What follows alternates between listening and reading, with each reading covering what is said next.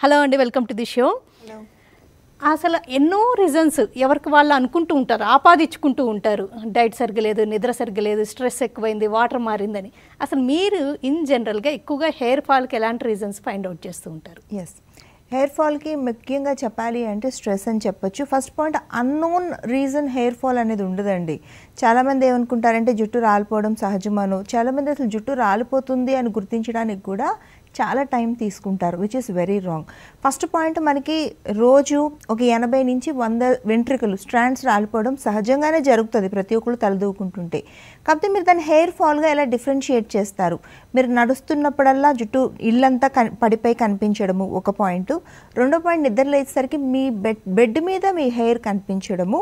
మూడోది మీరు తలదువ్విన ప్రతిసారి మీ కోమ్కి చాలా ఎక్కువ మోతాదులో హెయిర్ అనేది రావడాన్ని హెయిర్ ఫాల్గా గుర్తిస్తాం.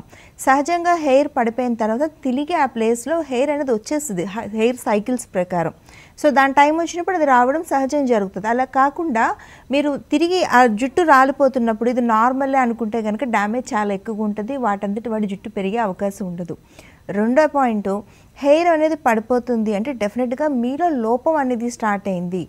ఒకటి మీ లైఫ్ స్టైల్ లోపం కానీ అంటే మీరు నిద్రపోవడం స్ట్రెస్ ఎక్కువ తీసుకోవడం తలస్నానం సరిగా చేయకపోవడం వల్ల కూడా అధికంగా హెయిర్ ఫాల్ అనేది అవుతుంది.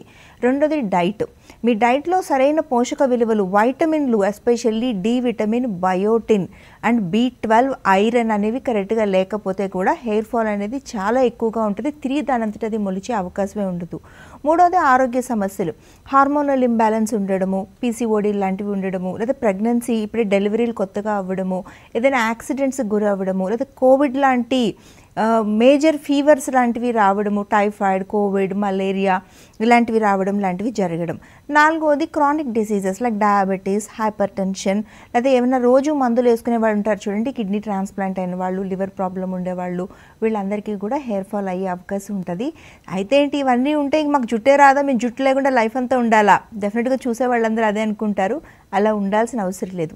మీ లోపాన్ని మీ అంతటి మీరు సరి చేసుకోలేరు కాబట్టి మా హెల్ప్ మీరు ఒక్కసారి మొహమాట పడకుండా తీసుకుంటే డెఫినెట్గా మీకు మంచి హెయిర్తో మీకు ఎటువంటి సమస్యలు ఉన్నా ఉండే అవకాశం వందకి వంద శాతం ఉంది.